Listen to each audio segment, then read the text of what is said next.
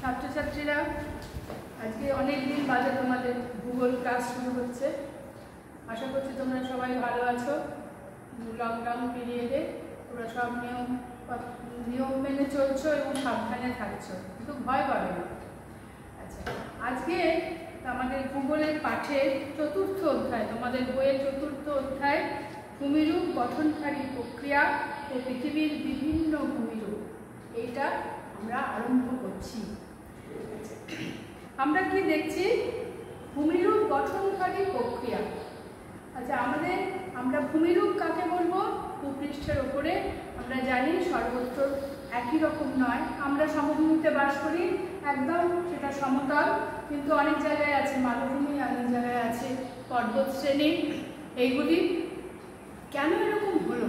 আমাদের মনে এই প্রশ্ন ওটা খুব স্বাভাবিক। এই যে ভূমিরূপ তৈরি হয়েছে বিভিন্ন রকম, তার পিছনে একটা সায়েন্স আছে।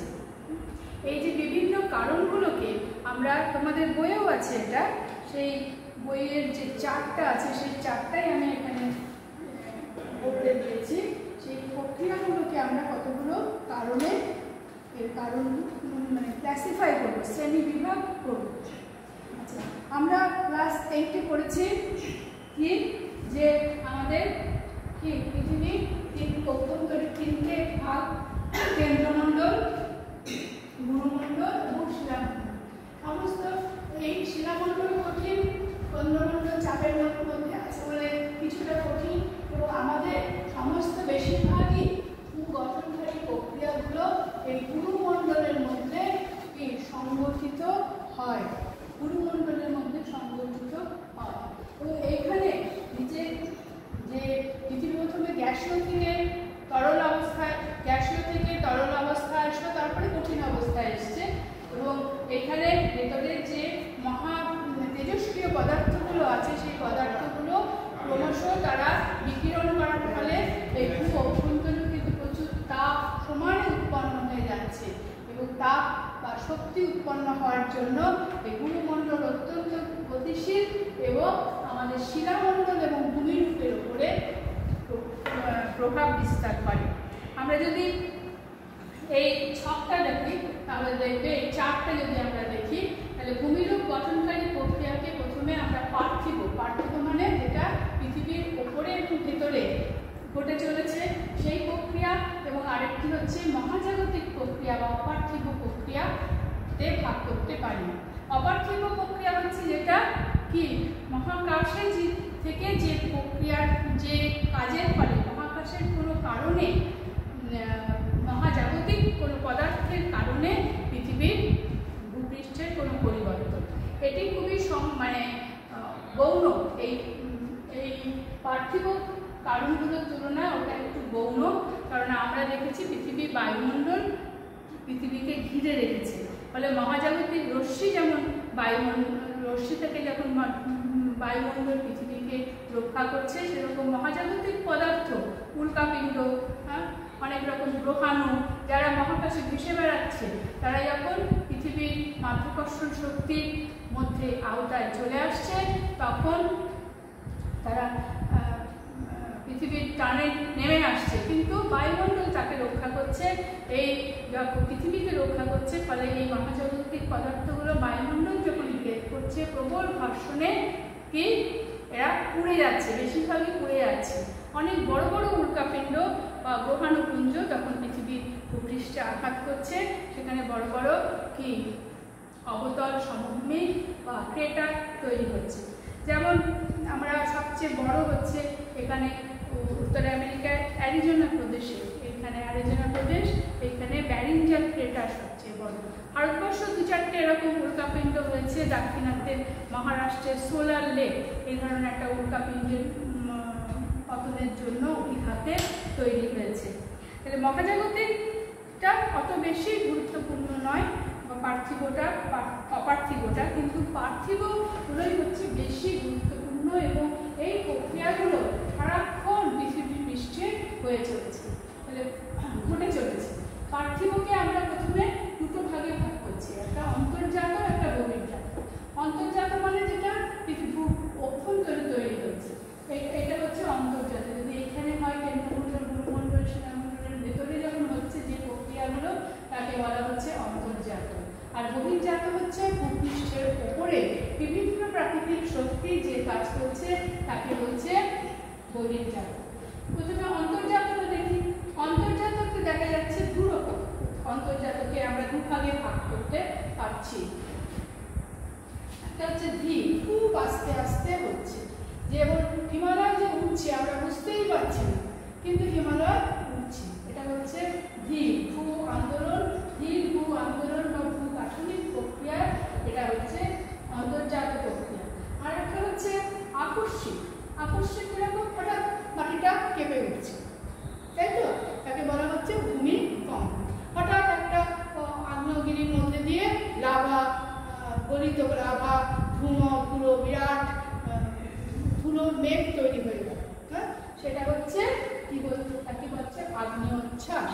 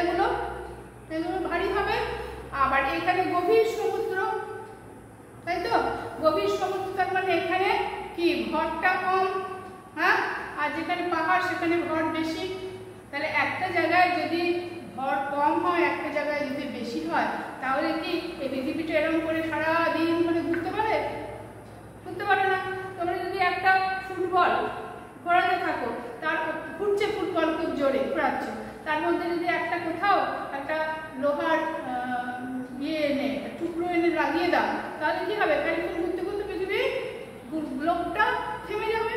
ঠিক সেই রকম। তাহলে পৃথিবীকে এরকমভাবে সমানে সচল রাখতে গেলে এর ঘর প্রতিটি পয়েন্টে কী হবে? সমান হবে। হ্যাঁ? এটাকেই বলা হয় সমস্থিতি অবস্থা। কীরকমভাবে হবে? যেমন সমুদ্র। সমুদ্র তলদেশ আর এখানে সমুদ্রের তলদেশটা ভারী শিলা দিয়ে তৈরি ভারী শিলা দিয়ে তৈরি যেগুলো উঁচু হয়ে আছে, সেগুলো শিলা দিয়ে তৈরি হবে।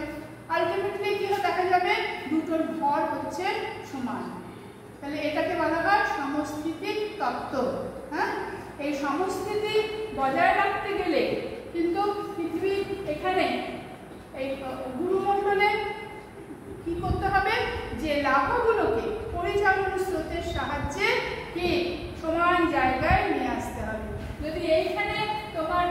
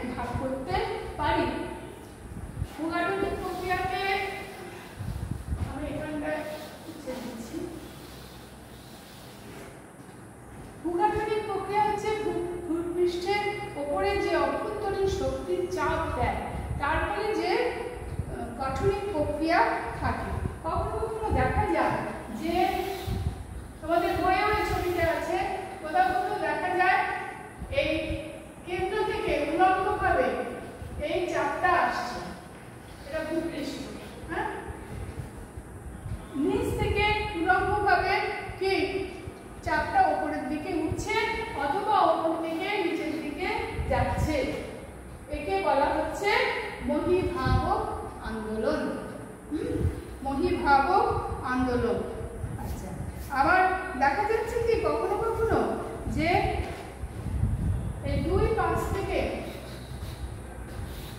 আসছে। মানে ভূপৃষ্ঠের সমান্তরালে ভূপৃষ্ঠের সমান্তরালে এই চাপ কার্যকরী হচ্ছে। একে বলা হচ্ছে কি? মহিভাবক আন্দোলন।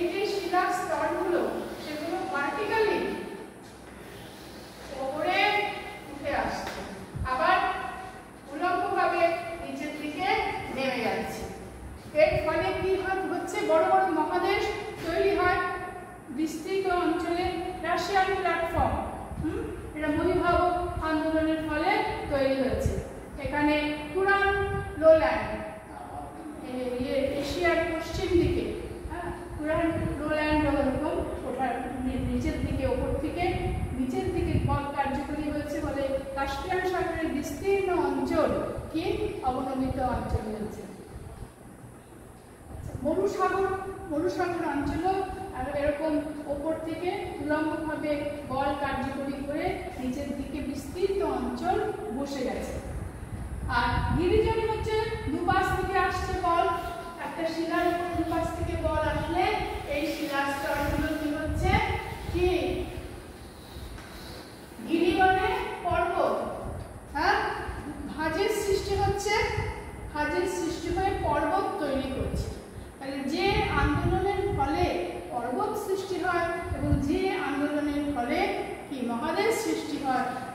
তাকে যে আন্দোলনের ফলে পর্বত সৃষ্টি হয়, তাকে বলে গিরি জমি আন্দোলন। আর যে আন্দোলনের ফলে মহাদেশ তৈরি হয়, তাকে বলে মহিন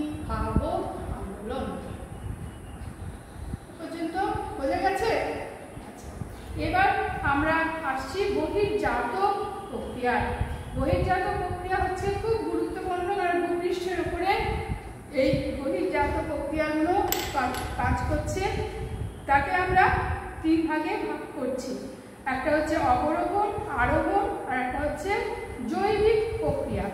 অবরোহণ বহির্জাত প্রক্রিয়া তাহলে কি? সূর্য কিরণ পড়ছে ভূপৃষ্ঠের উপরে, পড়ে এখানে বাষ্পীভবন হচ্ছে, বৃষ্টিপাত হচ্ছে, হিমবাহ তৈরি হচ্ছে, বায়ু তৈরি হচ্ছে, এগুলো সমস্ত কি? তাদের কি? চলনশীল হচ্ছে এবং তারা তাহলে ভূপৃষ্ঠের ওপরে নানা পরিবর্তন সাধন করছে। একেই বলা হচ্ছে বহির্জাত প্রক্রিয়া। তাহলে এখানে দুটো জিনিস হচ্ছে, অবরোহণ এবং আরোহণ। এই কথাটা নতুন তোমরা শুনছো, তোমরা মানে টার্মটা নতুন শুনছো, কিন্তু জিনিসটা নতুন নয়। তোমরা ক্লাস সেভেন বলেছ অবরোহণ অবরোহণ মানে হচ্ছে ক্ষয় হ্যাঁ? তোমরা পাশে ছোট ছোট করে লিখে নিতে পারো। অবরোহণ পেন্সিল দিয়ে অবরোহণ হয় আরোহণ হচ্ছে সঞ্চয়। আরেকটি হচ্ছে জৈবিক প্রক্রিয়া। এখন জৈবিক প্রক্রিয়া হচ্ছে কি? কি প্রক্রিয়া? যেটা প্রাকৃতিক শক্তি নয়, যেটা মানুষ এগুলো করে। মানুষ, প্রাণী, তারা ভূপৃষ্ঠে যদিও ওদের নদী বা এর মতো এত শক্তিশালী নয়, কিন্তু তারাও, আমরাও কিন্তু ইদানিং আমরা, যত আমাদের অ্যাক্টিভিটিস বাড়ছে, ততই আমরা ভূপৃষ্ঠের পরিবর্তন সাধন করছি। যেমন মানুষ ক্ষয় করে হ্যাঁ ডিনামাইট ফাটিয়ে খনির থেকে উত্তোলন করে, ক্ষয় করে, আবার আমার কোনো কোনো জায়গায় জিনিস নিয়ে আর এক জায়গায় ফেলে খনির সব পদার্থগুলো নিয়ে আর এক জায়গায় উঁচু করে পাহাড়ের মতো তৈরি করে, সেটা সঞ্চয় হচ্ছে। এইভাবে মানুষ উদ্ভিদ এবং প্রাণী, উদ্ভিদ প্রাণীও করে, খুব কম স্কেলে করে, কিন্তু সারা পৃথিবীতেই করে। তারাও কিন্তু এরকম সঞ্চয় ক্ষয় করে যাচ্ছে। আসল হচ্ছে আমরা প্রাকৃতিক শক্তিগুলো দেখছি, বহির্জাত শক্তির মধ্যে।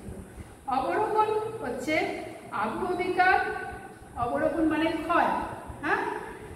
ক্ষয় হচ্ছে ভূপৃষ্ঠের ওপরে এক জায়গার জিনিস আর এক জায়গাতে কি? সরে যাওয়া হ্যাঁ? মানে সেই জায়গাটা আগের থেকে কি হয়ে যায়? কি হয়ে যায়? নিচু হয়ে যায়, তাই তো? এরকম ছিল, এরকম হয়।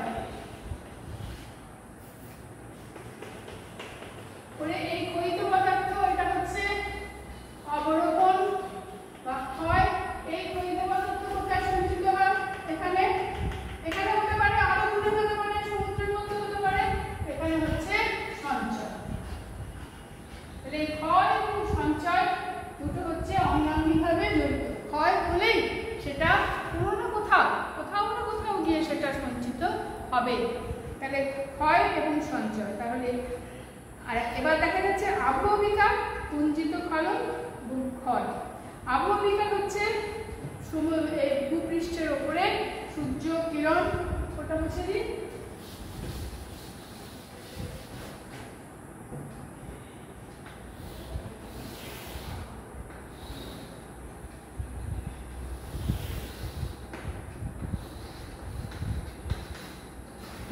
সূর্য কিরণ পড়ছে পড়ে এখানে কি হচ্ছে এই ওপরের শিলার স্তর